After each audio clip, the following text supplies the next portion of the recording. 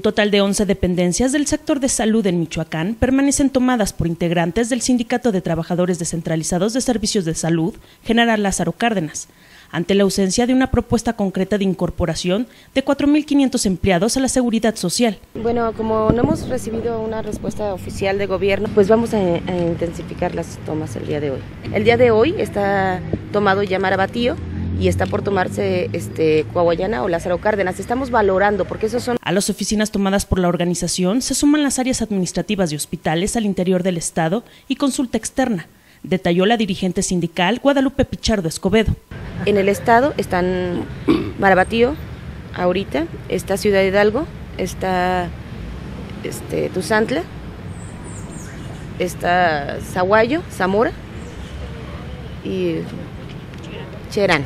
Pese a que la Dirección de Gobernación ofertó la incorporación gradual de los 4.500 agremiados, las tomas persistirán hasta que se signen acuerdos viables. Vamos a seguir con los hospitales tomando, cuidando mucho las jurisdicciones por ahorita la campaña nacional de vacunación y también cuidando mucho porque este, las contingencias, las áreas de contingencia. Reiteró que al menos en dos ocasiones las autoridades hicieron caso omiso de sus requerimientos. Aquí están los sellos de todas las instancias, desde gobierno del estado hasta abajo.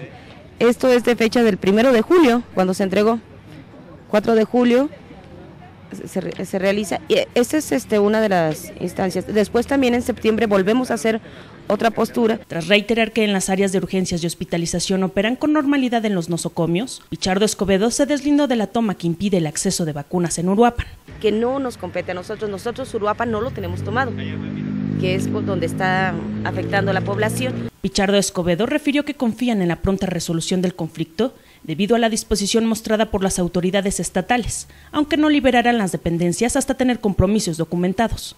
Con información de Fátima Paz informa Cuasar TV.